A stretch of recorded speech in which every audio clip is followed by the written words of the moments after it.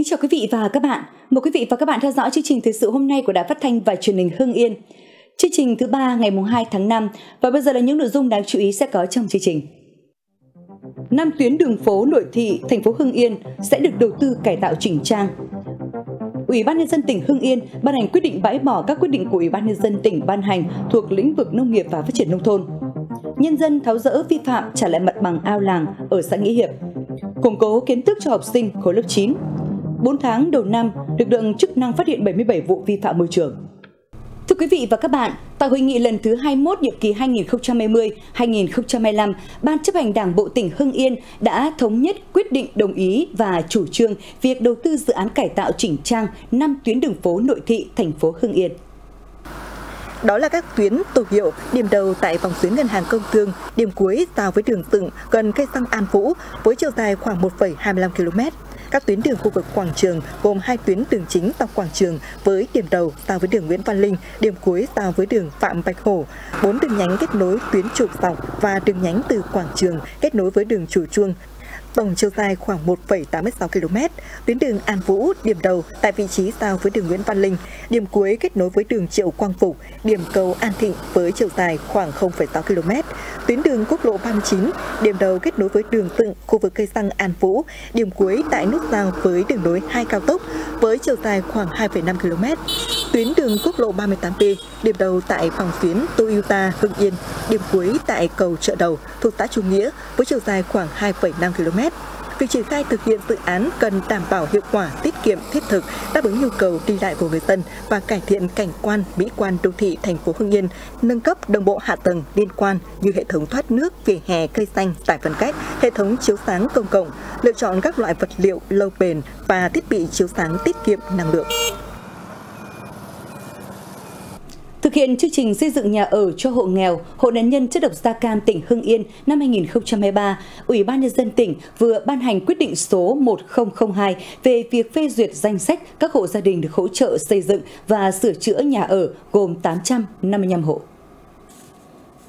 Trong đó, có 713 hộ nghèo và 142 hộ nạn nhân chất độc da cam còn khó khăn về nhà ở trên địa bàn tỉnh được hỗ trợ xây dựng nhà ở năm 2023. Mức hỗ trợ đối với các hộ xây dựng mới là 80 triệu đồng một hộ, đối với các hộ sửa chữa là không quá 40 triệu đồng một hộ. Ngoài mức hỗ trợ chung, tỉnh khuyến khích các địa phương hỗ trợ thêm đối với các hộ xây dựng mới, hỗ trợ xây dựng công trình phụ từ các nguồn kinh phí xã hội hóa, hợp lý khác do địa phương quyết định. Dựa trên tiến độ xây dựng sẽ bàn giao số tiền hỗ trợ theo từng hạng mục xây dựng và khi hoàn thiện, các công trình nhà ở xong trước ngày 30 tháng 11 năm 2023 và hoàn thành việc trao hỗ trợ xong trước ngày 15 tháng 12 năm 2023.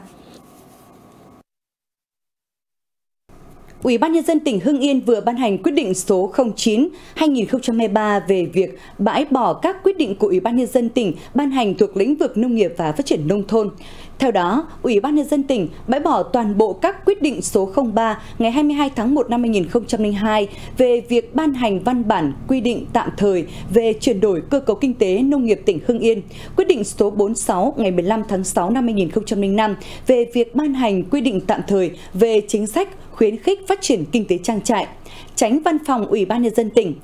thủ trưởng các sở, ban, ngành, đoàn thể, chủ tịch Ủy ban nhân dân các huyện, thị xã, thành phố và các tổ chức cá nhân liên quan chịu trách nhiệm thi hành quyết định này. Quyết định có hiệu lực thi hành kể từ ngày mùng 5 tháng 5 năm 2023. Thay mặt Ủy ban nhân dân tỉnh, Chủ tịch Ủy ban nhân dân tỉnh Trần Quốc Văn đã ký. Trong khi ở một số nơi vẫn đang diễn ra tình trạng người nọ đua người kia, lấn chiếm san lất ao làng thành của riêng, biến ao trở nên nhỏ hẹp, thậm chí là gây ô nhiễm môi trường, thì ở thôn Yên Thổ, xã Nghĩa Hiệp, huyện Yên Mỹ đã vận động thành công nhân dân trao trả lại diện tích cơi nới, tạo nên hệ thống ao làng sạch đẹp rộng rãi, đáp ứng nhu cầu vui chơi, giải trí của nhân dân cơi nới trên 100 mét vuông ao để làm chuồng chăn nuôi. Song hậu quả là gia đình chị Nguyễn Thị Thi phải sống trong môi trường ô nhiễm nghiêm trọng do mùi hôi thối bốc lên từ ao. Hiểu được sai phạm của mình nên ngay khi biết địa phương có chủ trương chỉnh trang, kè lại hệ thống ao, gia đình chị Thi đã tự nguyện tháo rỡ công trình vi phạm, trả lại nguyên hiện trạng ban đầu. Lãnh đạo thôn mới tổ chức là đi vận động à, bà con vào từng nhà một uh, mấy lượt đấy. Làm xong cái ao mấy cái đường này thì nói chung là dân tình này nói chung là thoải mái. Mà khấn khởi là chiều đến này tối đến đi tập thể dục là đông nói là từ già đến trẻ và trẻ con. Tối đến tập xong rồi nghỉ ngơi ngồi những cái chỗ bờ ao này chuyện trò vui lắm sướng. Ô nhiễm môi trường cả một đời. Mình đã vậy còn con cháu mình lâu dài thì nó ảnh hưởng nhiều hơn thế còn cái đất thì có bao nhiêu thì họ tưởng nghĩ là vì tôi nghĩ cái quyền lợi tập thể đó là cái chính bây giờ trông quang đãng thì ai cũng phải vừa mắt ai cũng thấy là lá đẹp là vui Ao Bà Cả có chiều rộng 60 m, chiều dài 150 m, bị 13 hộ sinh sống xung quanh lấn chiếm. Hộ ít thì vài chục mét, hộ nhiều hàng trăm mét vuông, khiến ao trở nên nhỏ hẹp và là nơi chứa rác thải gây ô nhiễm môi trường nghiêm trọng. Sau khi xã có chủ trương kè lại ao, chính quyền cơ sở thôn đã lên kế hoạch tổ chức họp dân, kiên trì đến từng gia đình vận động tuyên truyền. Nhờ đó, cả 13 hộ đã đồng loạt tháo rỡ công trình vi phạm, trả lại mặt bằng ao. Trước tiên chúng tôi họp với ban à, lãnh đạo thôn và ban chỉ ủy tri bộ. Thế sau đó thì chúng tôi cho họp dân à, mời 13 hộ xung quanh ao ra và chúng tôi triển khai cái ờ, kế hoạch à, của ủy ban nhân dân xã à, tuyên truyền vận động các hộ dân kiên quyết giải tỏa vi phạm cộng với thực hiện ngay kế hoạch chỉnh trang nên chỉ sau gần một năm, ao bà cả đã khoác lên mình tấm áo mới. Khuôn viên sạch đẹp, nước trong xanh, hệ thống đèn cao áp, ghế đá được đầu tư đã giúp cảnh quan nơi đây đổi thay, trở nên trong lành sạch đẹp hơn bao giờ hết. Xã Nghĩa Hiệp đang có kế hoạch vận động các thôn khác học tập mô hình của thôn Yên Thổ để trả lại mặt bằng, có không gian và diện tích để cải tạo lại các ao làng. Thưa quý vị và các bạn, không chỉ là một tiêu chí giúp địa phương được công nhận xã nông thôn mới kiểu mẫu, việc xây dựng thôn Lê Như Hổ, xã Hồng Nam, thành phố Hưng Yên theo mô hình nông thôn thông minh đã góp phần đưa công nghệ số trở nên gần gũi và thiết thực hơn với đời sống của người dân, góp phần thay đổi diện mạo nông thôn mới nơi đây. Hôm nay, vợ chồng ông Dương được Tổ hỗ trợ công nghệ số cộng đồng xã Hồng Nam và thôn Lê Như Hổ đến tận nhà hướng dẫn kích hoạt tài khoản định danh xác thực điện tử theo nội dung của đề án số 06. Sau khi được biết ứng dụng VNeID có thể giúp thực hiện một số dịch vụ công trực tuyến hay tích hợp các loại giấy phép lái xe, đăng ký xe, bảo hiểm y tế để giảm thiểu các loại giấy tờ cần mang theo khi thực hiện các giao dịch hành chính, ông Dương vô cùng tâm đắc.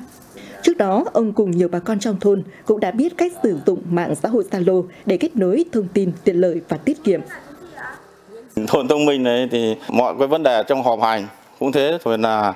tổng kết hay là giao lưu tất niên hay là có cái hội nghị gì của thôn thì trưởng thôn hoặc là phó thôn hoặc là các cái đoàn thể nó không phải đi thông báo gì cả mà chỉ qua cái Zalo điện thoại này gửi tin nhắn một cái là có thể mọi người là đều biết được ngay. Hiện đa phần các cán bộ thôn Linh Như Hổ đã thiết lập nhóm Zalo kết nối với cán bộ xã nên việc họp hành giảm tiện nhiều mà thông tin văn bản điều hành lại được triển khai nhanh chóng. Ngay sau khi xác định xây dựng điểm mô hình thôn thông minh ở thôn Linh Như Hổ,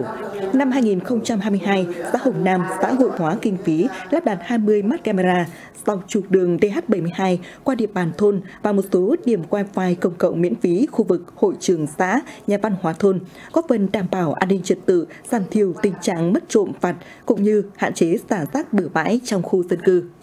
Mô hình à, thôn thông minh kiểu mẫu của thôn à, Lê Như Hổ chúng tôi là có rất nhiều cái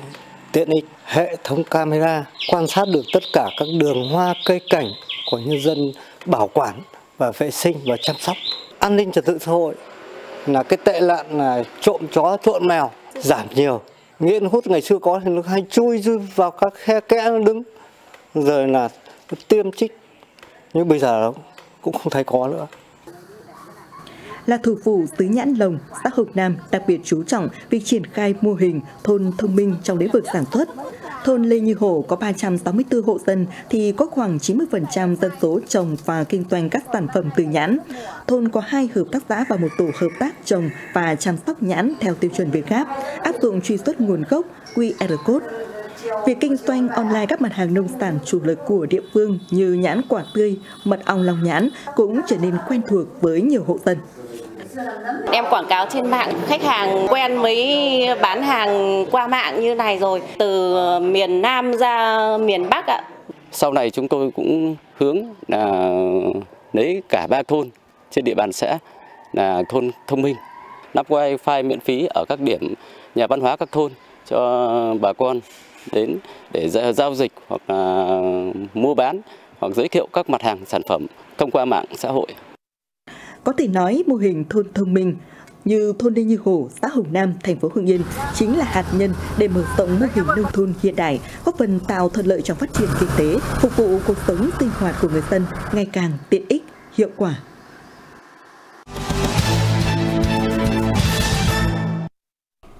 Quý vị và các bạn đang theo dõi chương trình thời sự của Đài Phát thanh và Truyền hình Hưng Yên. Thưa quý vị và các bạn, sau nhiều năm do dịch Covid-19 không thể tổ chức được. Trong kỳ nghỉ lễ mùng 10 tháng 3 âm lịch và 30 tháng 4 mùng 1 tháng 5, Công ty Cổ phần Nhựa Hưng Yên đã tổ chức chương trình Lễ hội truyền thống Công ty Cổ phần Nhựa Hưng Yên năm 2023. Đây là hoạt động được công ty tổ chức từ nhiều năm nay để gắn kết mọi người, hướng đến duy trì, phát huy nét đẹp những trò chơi dân gian truyền thống của dân tộc Việt Nam trong ý thức mỗi người lao động.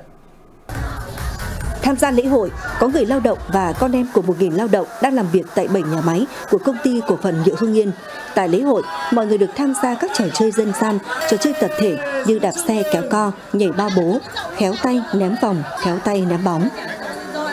Hôm nay tham gia các trò chơi tôi cảm thấy rất vui và phấn khởi ạ. Cảm ơn uh, sự quan tâm động viên của ban lãnh đạo công ty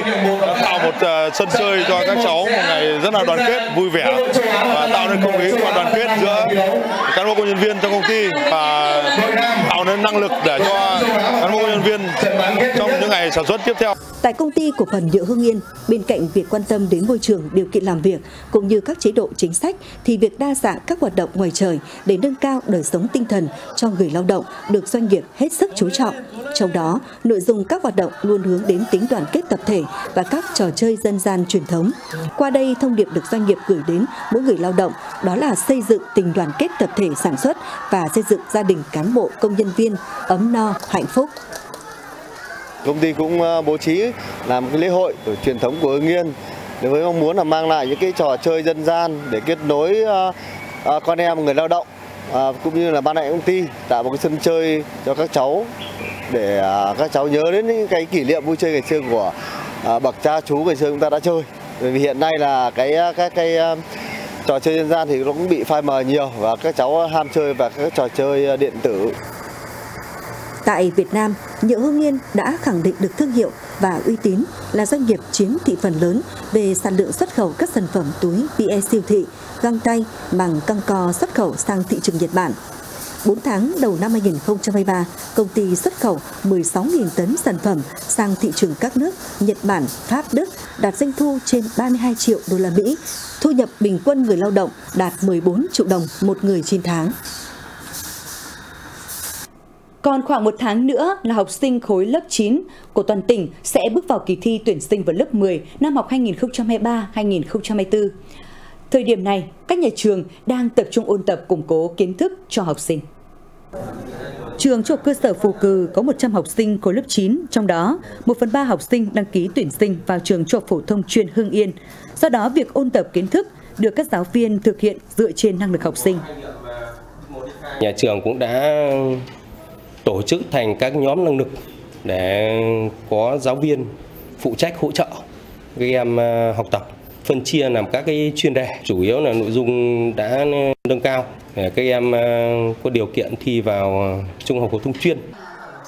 Công tác ôn tập kiến thức cho học sinh khối 9 được các nhà trường triển khai ngay từ đầu năm học, vừa học kiến thức mới, vừa phụ đạo vào buổi chiều với phương châm học tới đâu ôn tới đó, giúp cho các em nhớ sâu và nhớ lâu. Hiện tại, công tác ôn tập trọng tâm vào môn địa lý và vật lý là hai môn thi còn lại trong bài thi tổng hợp vừa được Sở Giáo dục và Đào tạo công bố. Đối với ba môn toán, ngữ văn và tiếng Anh, việc ôn tập vẫn được duy trì tập trung làm các đề thi mẫu, dạng bài thường gặp để phát hiện điểm yếu cần khắc phục. Từ đầu năm học tôi cũng đã cố gắng là à, tìm hiểu để có thể đi sát được cái cấu trúc đề thi do sở giáo dục của chúng ta đề ra rèn luyện cho các em cái kỹ năng để các em có thể làm được cái bài thi vào trung học phổ thông một cách tốt nhất. Thời điểm hiện tại là giai đoạn ôn tập nước rút quan trọng để học sinh có tâm thế tốt nhất bước vào kỳ thi. Bên cạnh củng cố kiến thức thì nhà trường, gia đình và chính các em thí sinh cũng có những giải pháp để giảm áp lực, không tạo cánh nặng tâm lý thi cử. Em thường lên YouTube và tra những cái nguồn trang uy tín như là lời giải hay, uh, hỏi đáp 247, những à, trang web uh, chuyên về học tập để tra cứu nguồn tài liệu. Sau những giờ học tập căng thẳng thì em vẫn duy trì chơi cầu lông và uh, đá cầu. Phối hợp với lại phụ huynh là trong cái thời gian mà các em uh, ôn thi thì ở đây có cái sự quan tâm cả về sức khỏe cả về tâm lý của học sinh để làm sao mà các em vững vàng nhất và yên tâm nhất trong cái quá trình ôn thi. Kỳ thi tuyển sinh lớp 10 trung học phổ thông năm học 2023-2024 sẽ diễn ra từ ngày mùng 2 đến ngày mùng 4 tháng 6 với 3 bài thi. Thí sinh dự thi trường trung phổ thông chuyên Hưng Yên sẽ có thêm bài thi môn chuyên. Kiến thức nằm trong chương trình trung học cơ sở, chủ yếu là ở lớp 9.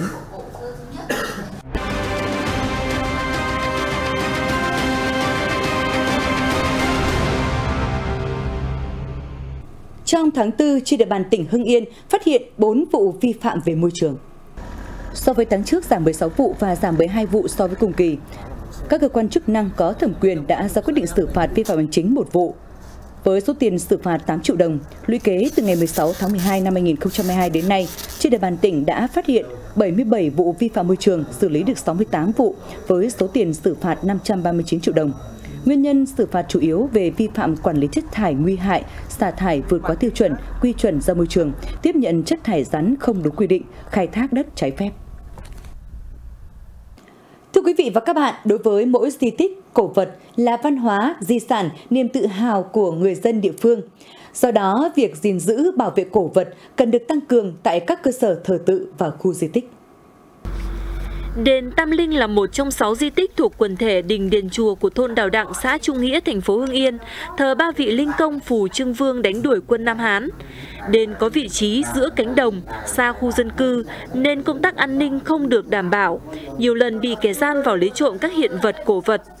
Toàn bộ ba ngai cổ và các đồ thờ như năm lọ lục bình cổ, đài vàng, chén bạc từ thời vua Khải Định trị giá hàng tỷ đồng đã bị kẻ gian lấy trộm. Đáng chú ý, 5 trên 6 sắc phong của đền đã bị kẻ gian lấy mất từ năm 2012. Hiện thôn đã tìm và chuộc lại được hai bản, vẫn còn thất lạc 3 bản, trong đó một bản vừa bị một đơn vị của Trung Quốc giao bán đấu giá tối hôm nó lấy tất cả toàn bộ và cái trị giá vào khoảng trên 2 tỷ. Cái ờ, sắc phong ở Trung Quốc thì vừa rồi lại có một số thông tin là bên đó người ta cũng dừng đấu giá rồi nên là anh em cũng ờ, rất là à, mong muốn được là nhà nước bảo trợ cho và bằng con đường ngoại giao nếu mà lấy được về thì nó là ờ, rất là, là, là tốt cho cho cho nàng và cho nhà đền. Việc mất trộm các hiện vật cổ vật có giá trị diễn ra tại một số di tích trên địa bàn tỉnh. Đáng chú ý như chùa Pháp Vân xã Lạc Hồng, huyện Văn Lâm mất pho tượng gỗ cổ Tam Thế, đền Hậu xã Đông Kết, huyện Khói Châu mất năm đạo sắc phong từ thời Nguyễn và hai bát hương cổ bằng gỗ. Đình Bồng Châu, xã Phú Cường mất toàn bộ 69 đạo sắc phong. Chùa Nễ Châu, xã Hồng Nam, thành phố Hưng Yên, bốn lần bị kẻ trộm đột nhập, lấy đi hàng chục pho tượng gỗ quý hiếm và đồ thờ có giá trị. Chùa Mễ Sở, huyện Văn Giang từng hai lần mất tượng Phật Bà Quan Âm. Vấn đề công tác an ninh, bảo vệ và giữ gìn hiện vật tại các di tích thực sự cần phải được quan tâm. Thời gian qua, tất cả các di tích thuộc quần thể khu di tích quốc gia đặc biệt Phố Hiến đã được Ban Quản lý khu di tích phối hợp với chính quyền địa phương lắp đặt hệ thống camera giám sát an ninh, bố trí người làm công tác bảo vệ. Các cái à, hiện vật được bảo quản rất là tốt, chưa xảy ra cái à, hiện tượng mất cắp à, di vật cổ vật trên các di tích được giao quản lý. Đến với các di tích lịch sử của phố Hiến Hưng Yên, tôi thấy được ở đây vẫn giữ được rất nhiều nét cổ kính, giữ được rất nhiều các cái cổ vật có giá trị về lịch sử. Những di vật, hiện vật, cổ vật không chỉ là linh vật của từng di tích mà còn là những tác phẩm nghệ thuật minh chứng cho lịch sử xây dựng hình thành di tích, là minh chứng cho các sự kiện lịch sử, nhân vật lịch sử của từng thời kỳ. Tỉnh Hưng Yên hiện có hơn 1.800 di tích lịch sử với hàng vạn hiện vật cổ vật có giá trị. Đây chính là những di sản văn hóa lịch sử của tỉnh. Việc bảo vệ và giữ gìn những di sản này là trách nhiệm của toàn xã hội. Trong 4 ngày từ ngày 27 đến ngày 30 tháng 4, Tổ công tác phòng ngừa đấu tranh với tội phạm về ma túy trên địa bàn hai huyện Văn Giang và Văn Lâm đã phát hiện nhiều đối tượng mua bán sử dụng trái phép chất ma túy. Cụ thể, tổ công tác đã kiểm tra 1.028 trường hợp, phát hiện xử lý 31 trường hợp không đăng ký tạm trú, hướng dẫn 455 trường hợp làm thủ tục đăng ký tạm trú do chưa đến đủ 30 ngày, đăng ký tạm trú mới cho 190 trường hợp, đã phát hiện 6 vụ, 6 đối tượng có hành vi mua bán trái phép chất ma túy, xử lý hành chính 43 đối tượng sử dụng trái phép chất ma túy, đưa 76 đối tượng sử dụng trái phép chất ma túy bàn giao về địa phương nơi cư trú để quản lý theo quy định.